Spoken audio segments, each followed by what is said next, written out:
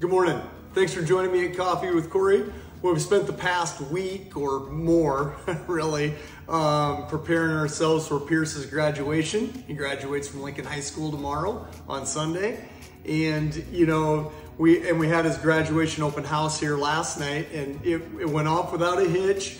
Jossie always does a magnificent job of putting everything together. Um, anytime there's a gathering to be had, Jossie's the planner, and uh, so kudos to you, sweetheart. Uh, you did a magnificent job as always. My small contribution to that was uh, looking through oodles and oodles of pictures to you know to pick some out and put on the boards, and I, I will tell you the uh, looking through those pictures and uh, seeing some of the faces that I haven't seen for a while and reliving some of those memories that was pretty special for me, and you know, the the other part that that really uh, that really hit me was just the the process from Pierce turning from that that little boy that uh, you know he was always dependent upon us for everything.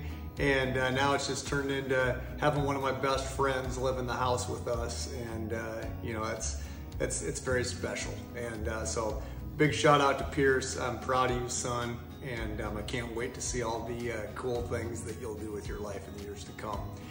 Um, you know, over the last few weeks, we've been attending a lot of graduation open houses, and it, you know, it, it has struck me that you know there there's a number of parents out there that I've visited with that that kind of seem to be struggling with their children graduating. Uh, you know, the sadness and oh gosh, you know, like they're they're all grown up, and I, am here to tell you, and, and, maybe just you know put my arm around uh, some of some of the parents that are feeling those uh, those feelings. That trust me, from a guy that's that's seen four older kids move out of the house already.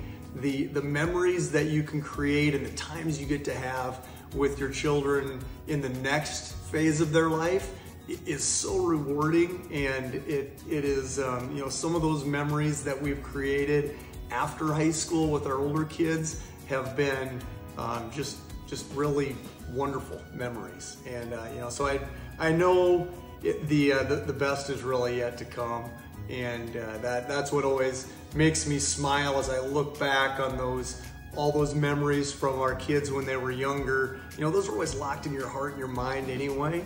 So uh, you know, looking forward and and uh, really um, being optimistic for uh, for what's to come is I think that's key.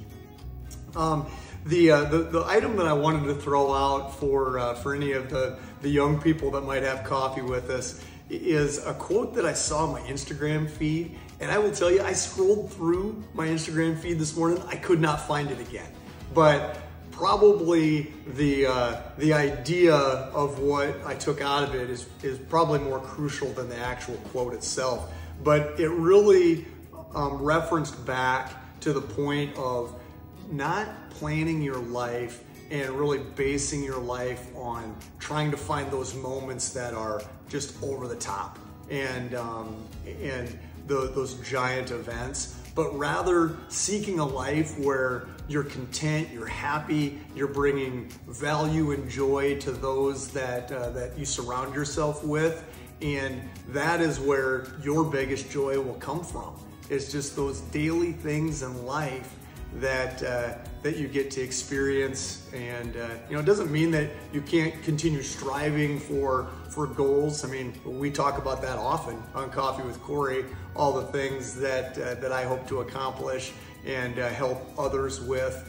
But seeking and and uh, recognizing the joy in your daily life is uh, I think that's pretty critical to not feeling as though you are uh, you're missing something, um, and it's pretty critical to being fulfilled on a daily basis. So that's the uh, little nugget that I wanted to share with you today. Again, I apologize I couldn't find that on Instagram uh, to be able to to uh, give credit to the person that that had the quote that inspired and put those thoughts in my mind, but nonetheless. Um, it was it was an important point to share. So um, enjoy graduations, everybody, and I really appreciate you having uh, some coffee with me this morning. I hope to see you next week on Coffee with Kory.